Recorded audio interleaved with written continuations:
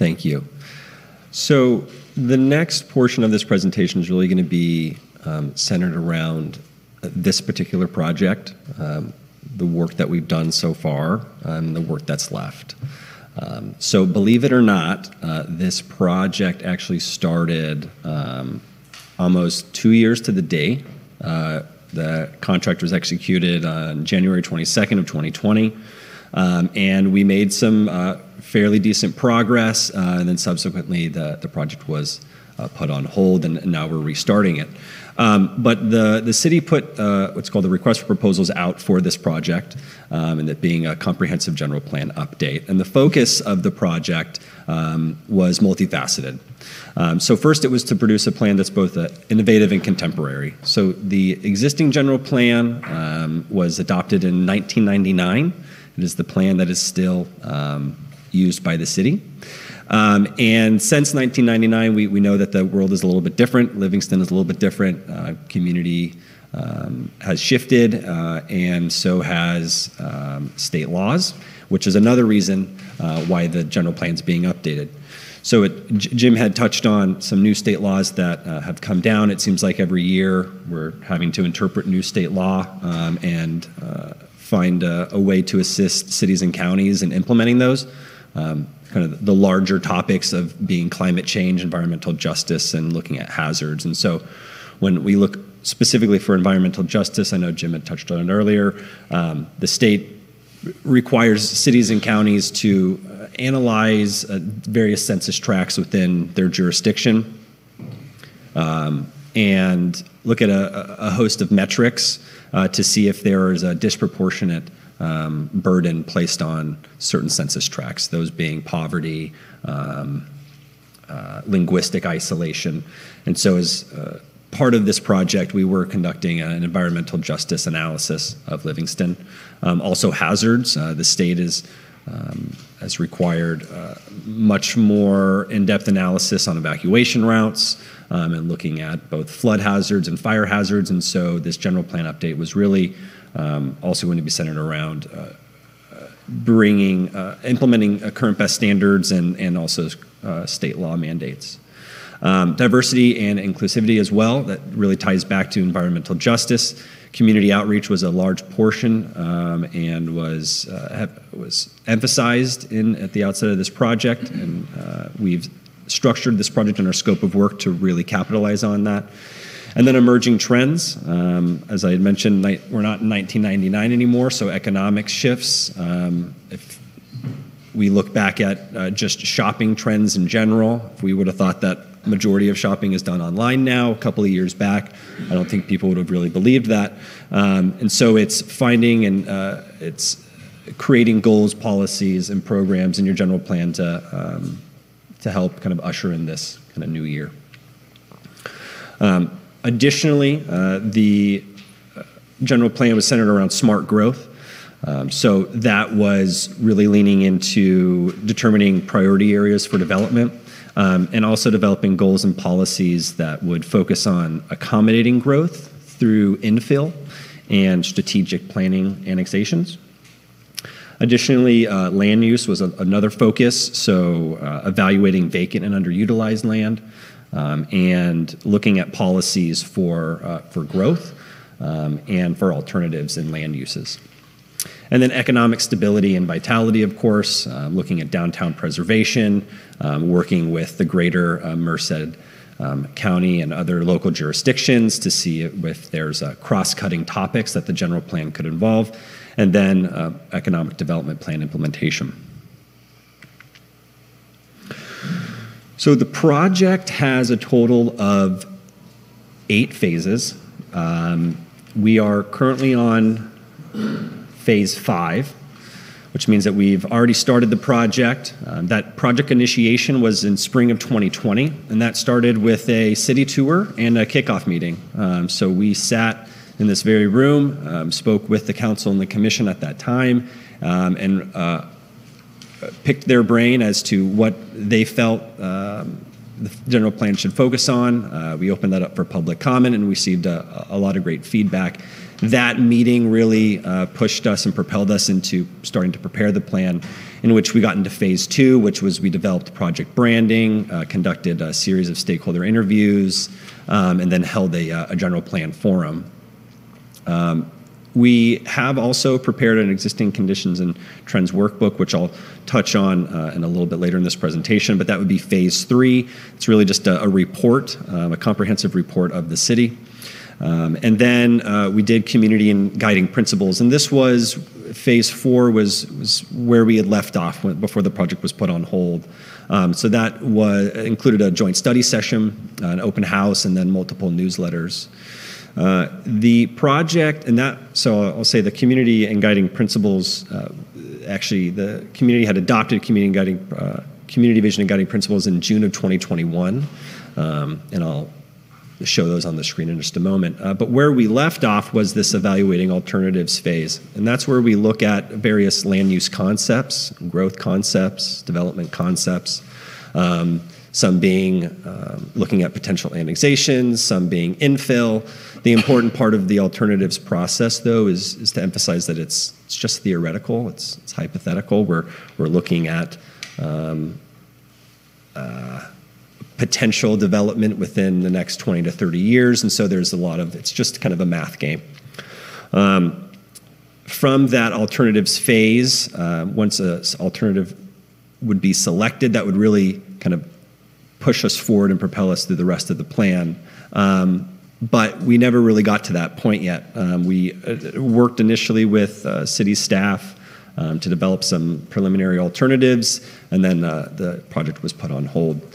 Um, but if we look to the remaining phases, we have a phase six, which is actually preparing the general plan, and this is where um, we start drafting and updating those various elements that Jim was touching on earlier. So land use, circulation.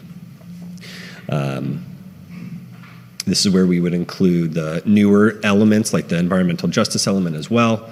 That, at least initially, we were anticipating a six to eight month to complete all those elements.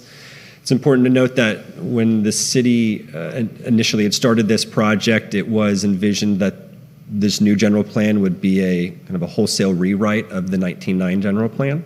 Um, so, as part of that process, we conducted a what's called a general plan audit, where we took every goal, policy, and implementation program. Um, at the time, the contract planner with the city, um, we worked alongside them and uh, went through each of those goals, policies, and programs to make sure that they were um, still reflective of community values. And then uh, after we prepare our general plan, we move into the environmental review process. That would be handled by our sub-consultant, Rincon. Hopefully, at the end of that, uh, after a successful uh, environmental review, we hope for a successful adoption, which would be uh, phase eight. Um, so I touched on some of these, but I'll just go through some of the work that we've completed so far. It has been quite some time since we've um, been in front um, of you all again. So I'll start from the beginning. At the outset of the project, we created project branding. Um, this was the logo that was selected um, and was designed uh, for this particular project. Uh, we choose logos to create transparency and also uh, to create visual interest. Um, and it allows the general public to. It creates a recognizable image for the general public to follow along with. We also have a project website, and that's uh, Livingston uh, City 2040. Uh, I would highly recommend everyone to check out the website if you have not. This is really the hub for the project. This is where we post our documents. This is where you can submit comments, um, sign up for our newsletter. Um, this is where we post events that are coming up, workshops, and where we also report out on the status of the project. All of the documents that I will touch on next have are up on that website, so if you would like to see the documents and deliverables that have been prepared thus far, they all are on the website for access. Um, as part of our website, we also have interactive community engagement. Uh, part of this, as I had touched on earlier, community engagement was a large portion of this project. Um, so having uh, tools that Uh, would allow easy accessibility for all members of the public. We have the ability to do full translation um, on our website. Uh, right now it's uh, available to be translated in both Punjabi and in Spanish. And then all of our materials that we post are also um, fully translatable as well. Um, one of the things that I really think that sets Mintier Harnish apart is, is our continued engagement and outreach. So we, as part of this project, are also have been scoped to put out periodic newsletters and updates. Uh, those are sent out via our email contact list. So if you had signed in this evening, you will likely receive a newsletter at some point down the road. Um, but this gives us project, this gives the the general public project update and project status. A lot of this this, are also posted on our website, but have gone out through our mailer lists as well. And then mapping. So uh, we, this is a large portion of this project is is compiling uh, mapping information and data, um, and uh, presenting in a way that makes sense. Uh, being that the general plan hasn't been updated since 1999, there was a lot of mapping that, as one would assume, not necessarily the most accurate. So compiling a database um, that is accurate um, and currently that reflects what's currently on the ground is extremely important. It sets the Um, foundation for the rest of the general plan.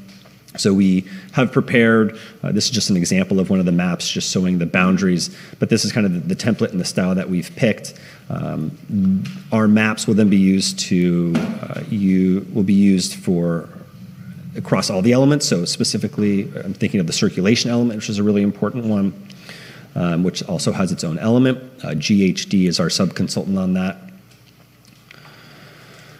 Um, the existing conditions and trends uh, workbook. So uh, the existing conditions and trend workbook is really a snapshot in time. Um, we completed this in 2020 in September.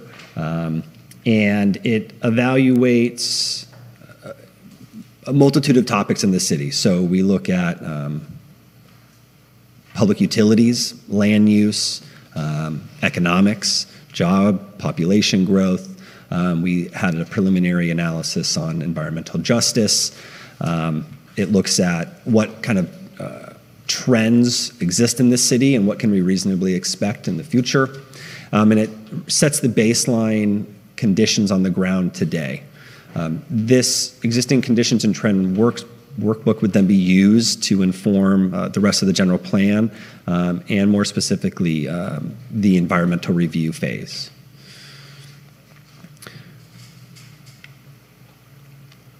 Uh, we crafted a vision and guiding principles for this project as well. And so the the vision is really a statement that is inspirational and sets the key values and aspirations for the general plan, whereas the guiding principles are uh, more the fundamental kind of doctrine that are used to guide development of the goals and policies. So in June of 2021, uh, we had an adopted vision statement. Um, I won't read it for you, but I'll leave it up for just a moment.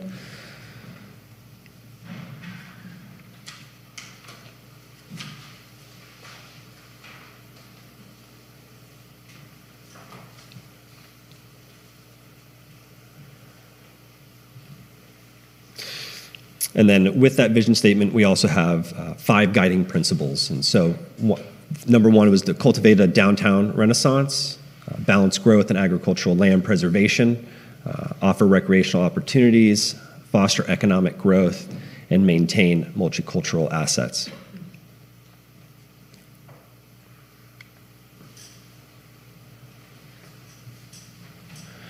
And then uh, community workshops. So, uh, transparency is a large portion of this project, um, and also creating goals and vision that is representative of the community.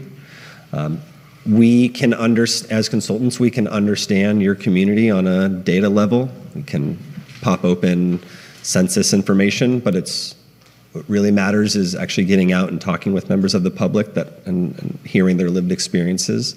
Um, identifying what people's assets, issues, and opportunities are beyond um, what a computer screen shows.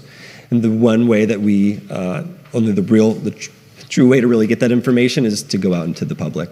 Um, so we have uh, a multitude of different ways that we engage. We have uh, virtual exercises, in-person workshops, study sessions, um, online surveys, physical surveys.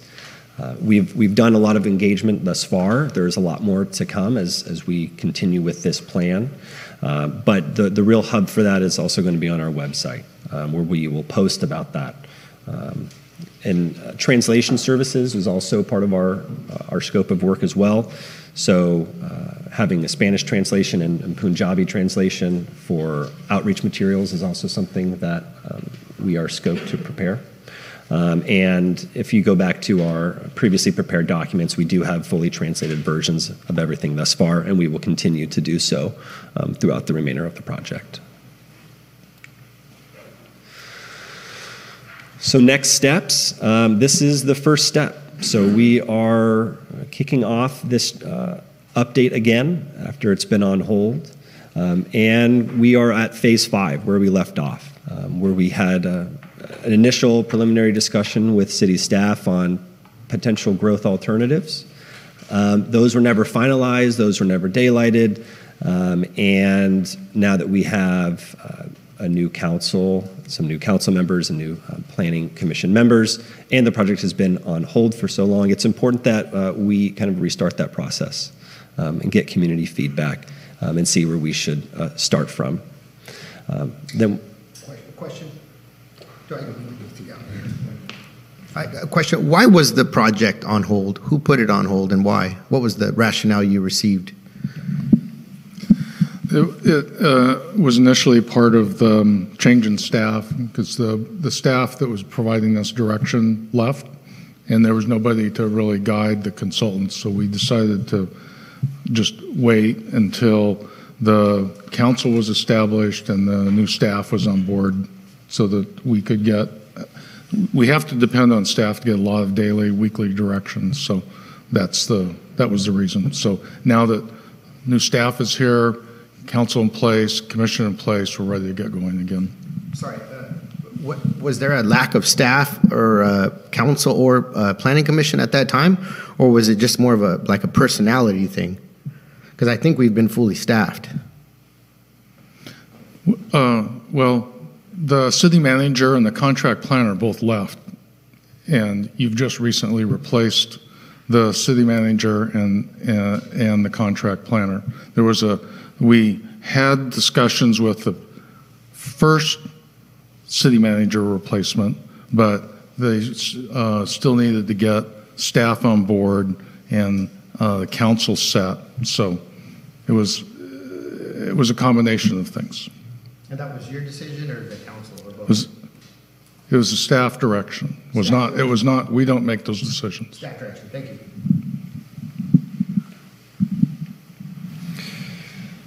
Any other questions? At any time, feel free to answer questions or ask questions.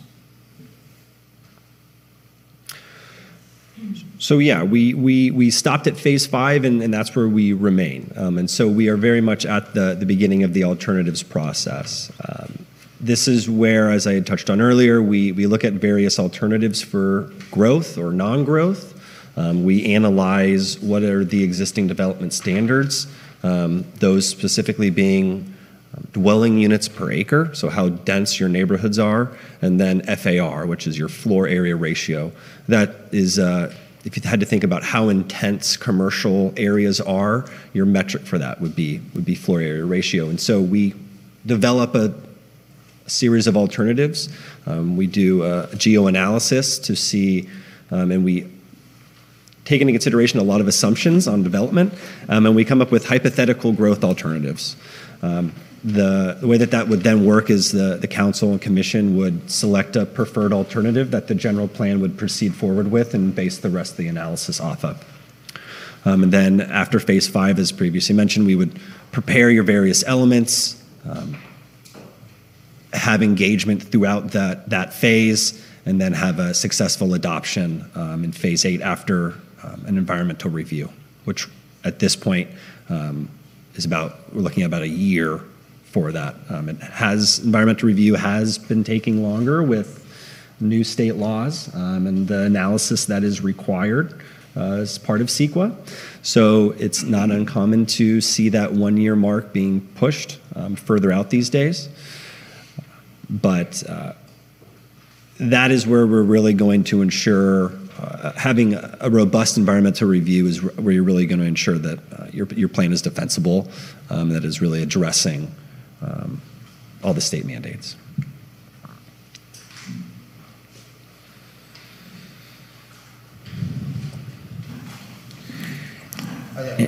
Yes, so you can come up, please. Thank you. Thank you, Mr. Mayor, uh, council members, and commissioners, Chair Commissioner. Uh, My name is David Storer. Um, I retired from PERS um, in December, uh, having 30-odd years as- in the planning field. The reason I'm here tonight is I represent clients uh, in and around Livingston. Uh, It's great to hear that uh, the process has been reignited. Um, I just want to give you my experience because there's a train wreck coming to Livingston and the Central Valley in the terms of RHNA. And Jim mentioned it, your regional housing needs analysis. Um, having just retired from four years in the city of Sonoma, we're going, we just went through the sixth cycle and received a humongous RHNA for that small community of 10,000 people. Our fifth cycle RHNA was 137 units. 330 was the new number. So if you can just compare apples to apples, you're going to be having a, a large number coming your way to find for housing in the city limits of the city of Livingston. So be prepared for that. There's a statewide, the governor has made it patently clear that he expects to see a lot of building of housing throughout the communities of California. A good thing. So I just wanted to kind of give that, Jim can speak more at it. and um, You don't have to take my word for it, but that's, that's a big issue. Train wreck is probably not the best word, but it's a, it's a thing that you haven't dealt with at that magnitude before, and it, it may come as a shock to you. So more of a comment, not so much of a question. Thank you.